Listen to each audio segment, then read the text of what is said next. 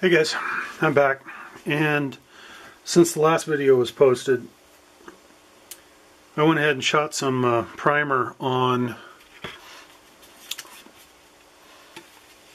on the little flaps because they were basically done.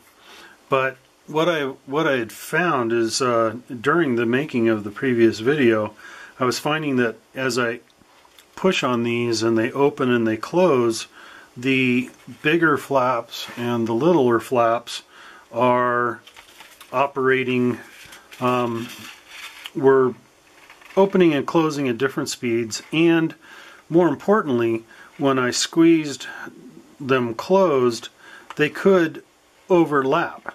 And so I was getting um, the big flap sometimes actually half of them, would end up closing and being on top of uh, the little flap.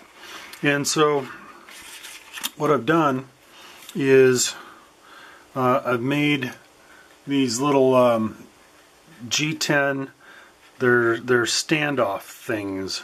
So the little pie pieces, the little wings that are on the um, on the, the small flaps these are essentially scale. You know, the real one has those. Um, but I needed a way to capture them on the big flaps so that they all close together. And so there's a there is now um, a little flappy doodad uh, that is you can see the dark area right here. This is um, that's Hysol, five minute Hysol, holding a little flap on. And um, so the idea being that as this opens and closes,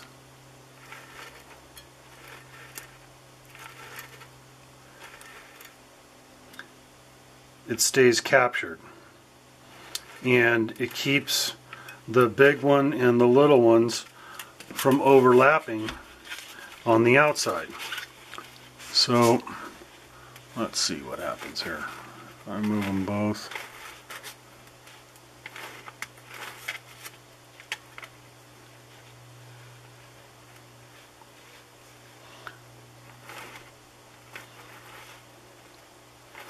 Yep, and I can pull pull on them pretty tight and none of them will overlap now. Yay. Okay back to thinking about servo mounting later.